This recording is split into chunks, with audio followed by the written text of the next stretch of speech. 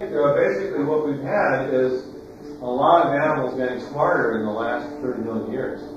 If you take cats the brain, we find in many different lines increase in intelligence and increase in social activity. So man is the result of a planetary process. And he's not the only one who's going through these changes. So I think if man became extinct, something else would take place, become something like. Uh, likely candidate are our friends the sea otters here in the, the ocean that maybe these tools.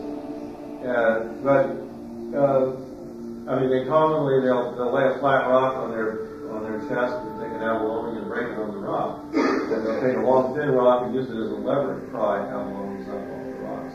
Or they'll tie themselves in a kelp with uh, tie knots in the kelp or wrap themselves around. So, um, and apparently it's only the southern sea otter that does this. The northern sea otters from the Gulf of Alaska have never been observed to do it. And if you look at these sea otters, they, they do have bulging foreheads, and they seem to retain the embryonic proportions in adult life, which is essentially how human beings got to be that way. A similar kind of embryological process. So it would seem that uh, that there are a number of animal strains that are sort of putting out peopleish buds. Sea otter